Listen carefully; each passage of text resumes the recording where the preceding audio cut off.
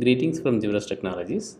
In this video, we are going to see how to create a row in Smartsheet from a Google Form submission.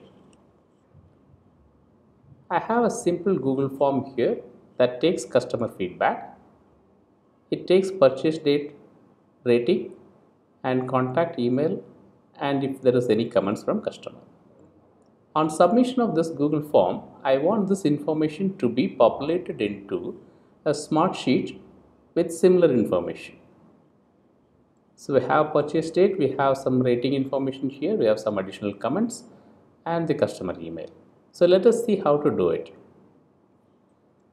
Launch form director.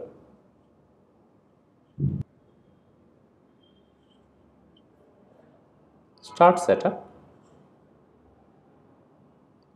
Choose smart sheet and choose create record as a service.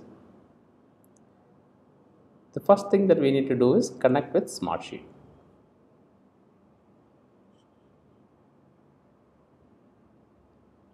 So now Smartsheet is connected.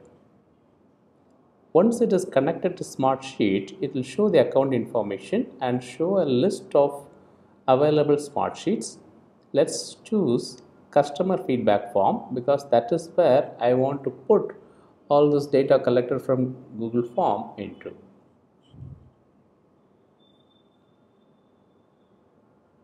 So it shows there are five app fields available there. All the fields that are in the smart sheet is getting listed here. So if you see here, these are all the fields which are getting listed automatically here. Now we'll have to map the Google Form fields with Smartsheet fields.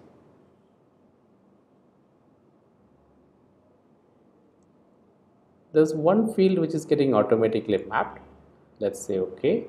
The purchase date is getting mapped automatically. We have this rating information, we will map it to the rating. Next is additional comment that has been called as comments here. Let's map that. Then we have the contact email. It is mentioned as your email in smartsheet and contact email in google form. Let's map that. Okay so let's go ahead and save this mapping. I do not want an email to be sent out on completion of this so let me switch it off save this. So now configuration is done, the form is ready. So let's launch the form. Let me fill some information.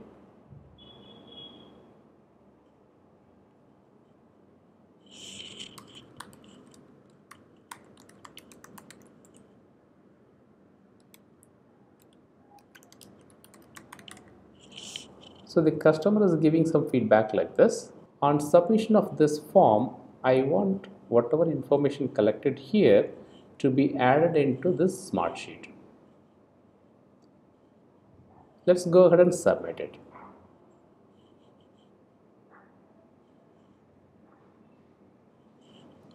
Let's refresh and see.